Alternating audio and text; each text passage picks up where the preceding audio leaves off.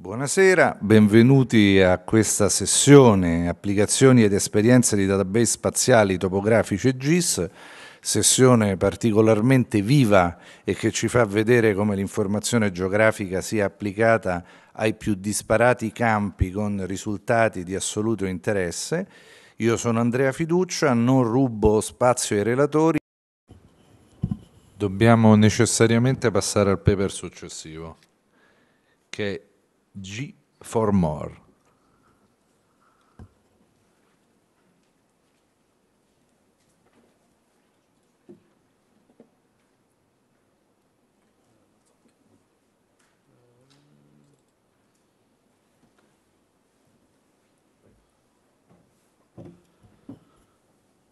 Eh, buon pomeriggio. In, ehm, questo intervento intendiamo presentare appunto eh, il lavoro che è stato svolto per eh, arrivare all'implementazione di questa seconda versione eh, che è stata ottenuta proprio negli ultimi mesi di questo programma per, eh, dedicato al soccorso delle, alla ricerca dei dispersi in ambienti montani, in ambienti ostili in generale.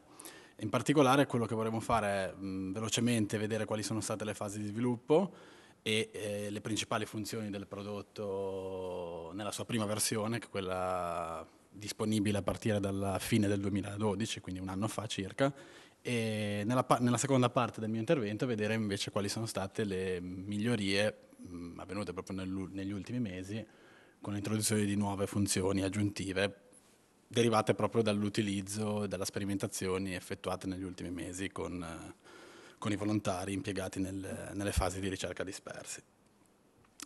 Beh, innanzitutto una brevissima introduzione eh, sull'importanza della cartografia, delle tecniche sia cartografiche e soprattutto della cartografia digitale, eh, quindi dei sistemi informativi territoriali o, o GIS, e eh, dei dati GPS che, che hanno un'importanza fondamentale durante le fasi di, di, ricerca dispersi, soprattutto ambienti, in ambienti di tipo montano. E, mh, queste tecnologie sono sicuramente importantissime, però un po' come in, detto nella prima presentazione del professor De Donatis, spesso sono tecnologie poco accessibili all'utente finale sia esso il uh, turista che, che, gira sui sentieri, ma anche per uh, i volontari del soccorso alpino, piuttosto che i tecnici dei vigili del fuoco, della protezione civile, che sono poi quelle persone impeg impegnate nelle, nella ricerca dispersi. E esistono molteplici prodotti commerciali, open source o altro, di tipo GIS, ne ho rappresentato solo alcuni, eh, ma tutti questi prodotti avrebbero probabilmente una serie innumerevole di funzioni che possono essere utili, ma non sono specificatamente dedicati, eh, non sono customizzati su, su, chi deve poi effettuare le ricerche. E tutto è partito da una tesi di laurea, molto brevemente, qua scorrerò veloce per ragioni di tempo, eh, una tesi di laurea che era più indirizzata diciamo, in generale all'accessibilità territoriale eh, montana, a partire da quella abbiamo eh, compreso che vi erano delle funzioni che potevano eh, essere molto utili, soprattutto quella che va a trovare un'area in cui una persona può essere andata in un determinato periodo di tempo. A partire da questa funzione, che è una funzione prettamente GIS, abbiamo deciso, eh, collaborando, quindi facendo questo cosiddetto living lab, cioè collaborando fianco a fianco di, dei volontari del Soccorso Alpino di Genova, che si sono prestati diciamo, a a questa collaborazione, ehm, di sviluppare un vero e proprio prodotto che coniugasse queste funzioni GIS con la gestione vera e propria delle squadre eh, impiegate durante le fasi di ricerca dispersi. E siamo arrivati, quindi sono passati un po' di anni rispetto alla prima tesi di laurea, circa sei anni, allo scorso, diciamo, a fine del 2012, a, ad avere un vero e proprio prodotto che potesse essere testato in un, tramite un test operativo sempre col soccorso alpino di Genova. E, ehm, che è questo G4More cosiddetto, eh, che starebbe GTER perché mm, noi siamo uno spin-off dell'Università di Genova eh, che si chiama proprio GTER, per il soccorso alpino. Cosa, cosa, quali erano le esigenze? Appunto, banalmente eh, gestire la cartografia digitale Eh, tra l'altro non è un caso che in questa slide eh, rappresentiamo appunto la cartografia digitale di OpenStreetMap. Eh, mi ricollego sempre alla prima presentazione, non so chi di voi ci fosse. Eh, esistono sicuramente, eh, ehm, delle, anche in Liguria ad esempio abbiamo la, la rete, dovremmo avere la rete escursionistica Ligure, per ora purtroppo per una carenza eh, di fondi eh, i dati sono ancora molto scarsi, quindi alla fine il, a livello sentieristico il database che abbiamo trovato più attendibile è proprio quello di OpenStreetMap, che tra l'altro si rivela molto utile. Si rivela molto utile anche per la seconda eh, grossa esigenza del soccorso alpino, che è quella dell'interazione con i GPS. Quindi interagire con i GPS significa avere la possibilità di, eh, man- di, inviare dei dati al GPS, quindi le aree di ricerca, e di ricevere dei dati con le tracce. Può essere altrettanto utile, molto utile avere anche lo stesso sfondo cartografico sia sul eh, computer eh, o sulla s- sede operativa, eh, questo dipende un po' dalle, dai tipi di ricerca, sia sul GPS. Utilizzando per esempio fonti open come OpenStreetMap, questo è possibile perché si può avere lo stesso sfondo anche sul, sul GPS. E questo anche se è di per sé una banalità, abbiamo visto che poi nella pratica è veramente molto utile. Infine, l'altra esigenza molto forte è quella di gestire informazioni relative alle squadre. Nelle squadre, durante le fasi di ricerca dispersi, ci, sono, ci possono essere volontari, volontari eh, qualificati, volontari non qualificati, anche persone che si presentano all'ultimo minuto, anziani, meno anziani, giovani o e ci sono persone appartenenti a enti, quindi a vigili del fuoco, volontari della protezione civile, carabinieri e così via. Quindi è molto importante gestire tutto questo personale. E quello che siamo riusciti a fare eh, diciamo, ha due grosse caratteristiche, il fatto di velocizzare le operazioni di ricerca dispersi, che è fondamentale, e poi di essere tarato esattamente sulle esigenze degli enti e quindi di non avere tutta quella, quella complessità dei prodotti GIS che presentavo nella, nella prima slide. Velocissimamente, non voglio annoiarvi troppo, eh, si basa su un server virtuale eh, e quindi, eh, che può essere installato sia eh, su veri e propri server qualora si disponga di una centrale operativa, ma delle, per ora, nella maggior parte dei casi, è un server virtuale che risiede all'interno di un computer, di un computer portatile poi di fatto, eh, che viene utilizzato in loco. Quindi. E, essendo un server virtuale, è un server virtuale Linux, ma sostanzialmente il client, cioè quello che poi eh, si vede, può essere utilizzato su qualsiasi sistema operativo. E questo diciamo, è un altro grosso vantaggio.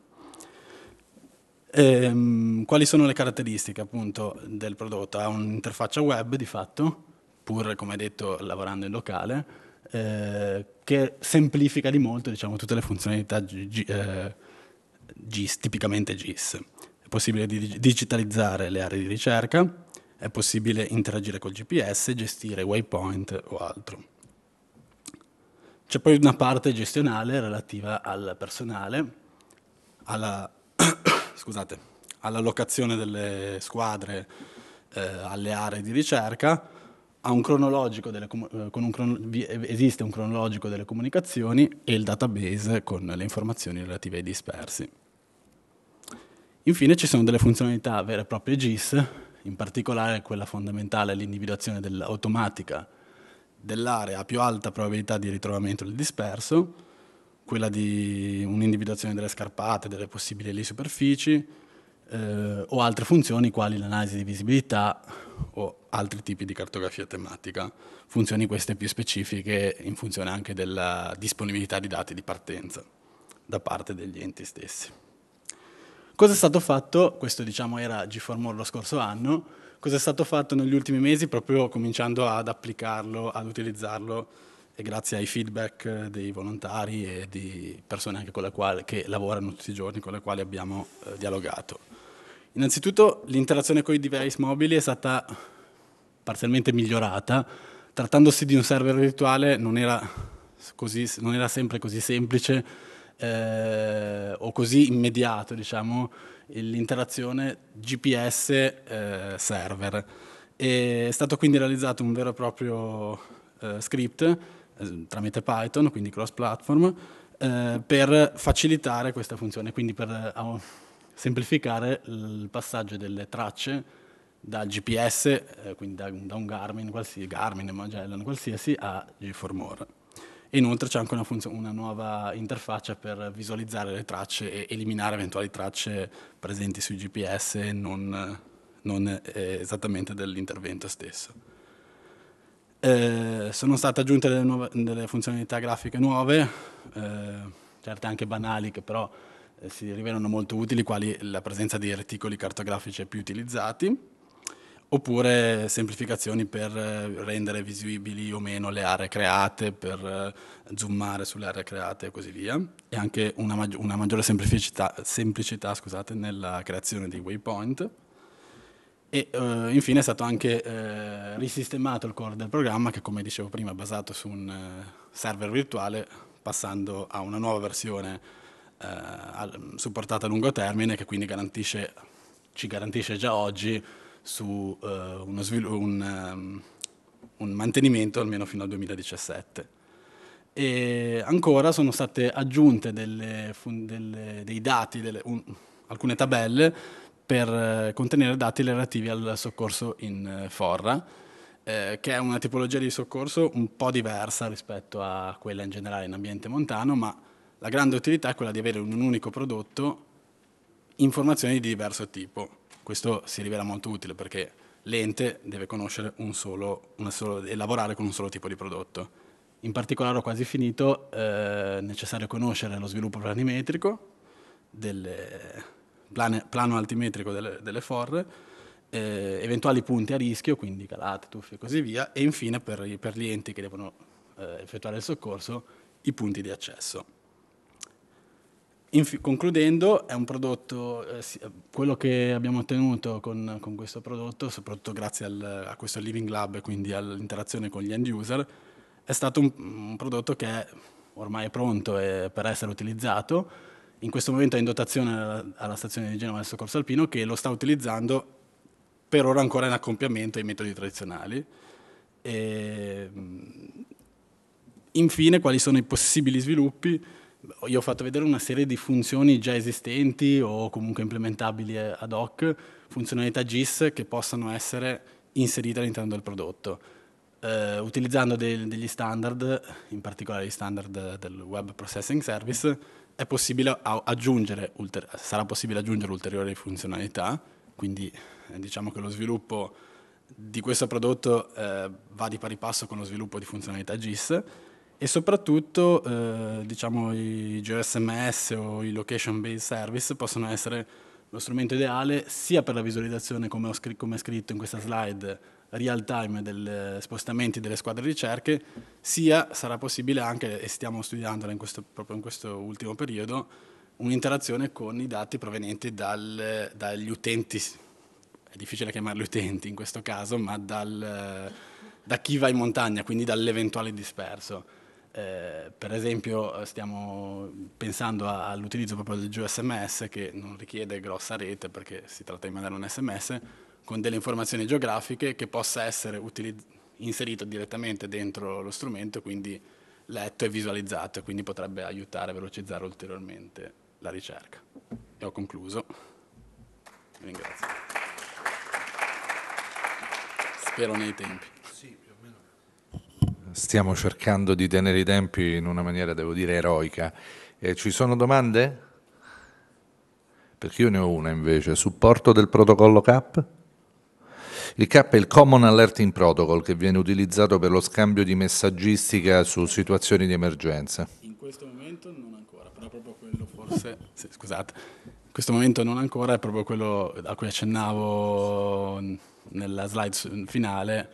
Eh, esatto questo e anche pensavamo ai, in generale ai sistemi di allerta tramite web. Il silenzio regna e quindi passiamo all'ultimo ma non